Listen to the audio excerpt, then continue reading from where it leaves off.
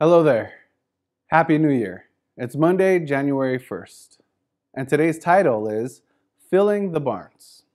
Whether we are rich or poor, our desires to own things can take our mind off of what really matters and focus it instead on what's only temporal and fleeting and certainly not worth the loss of eternal life. We would probably never bow down to a literal statue of gold or silver and worship it today.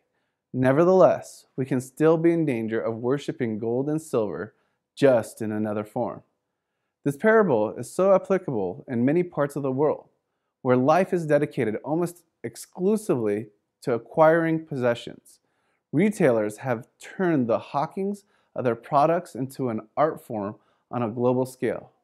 Their whole marketing strategy is built on what's making us think that we can't be happy or satisfied until we own what they are selling.